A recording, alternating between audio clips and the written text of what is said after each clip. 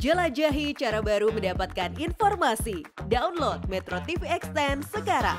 Larangan ekspor benih ben- bening lobster membuat nelayan di berbagai daerah terjepit. Mereka tidak bisa melakukan budidaya karena keterbatasan alat. Mereka juga tidak bisa menangkap BBL atau benur karena terbentur aturan. Salah satu nelayan desa Mertak, Kecamatan Pujut, Kabupaten Lombok Tengah, Nusa Tenggara Barat, Ismail mengaku pernah digerebek oleh aparat karena menangkap benih bening lobster. Mirisnya saat itu anak dan istrinya yang dibawa ke kantor polisi karena ia sedang tidak ada di rumah. Ia menyebut istri dan anaknya bisa bebas setelah Ismail menyerahkan bukti izin budidaya yang memang sudah dikantonginya.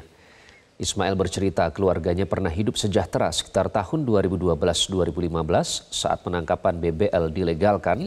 Bahkan harga BBL saat itu bisa mencapai Rp50.000 per ekor. Menanggapi hal tersebut, Wakil Ketua PBLN Syaifullah mengaku akan menyampaikan keluhan tersebut ke DPR. Ia kembali menjelaskan jumlah BBL di perairan Indonesia mencapai 278,3 miliar ekor per tahun dan NTB salah satu wilayah yang jumlahnya paling banyak. Kalau dulu kita pas eh, dilegalkan, nah, itu kemungkinan besar masyarakat yang ada di Desa Merta ini mengerjakan atau menangkap BBL ini.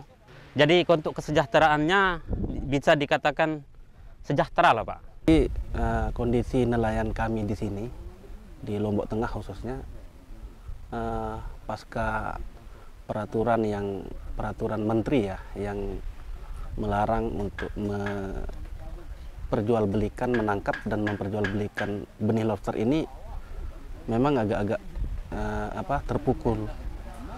Kondisi perekonomian mereka eh, kesulitan.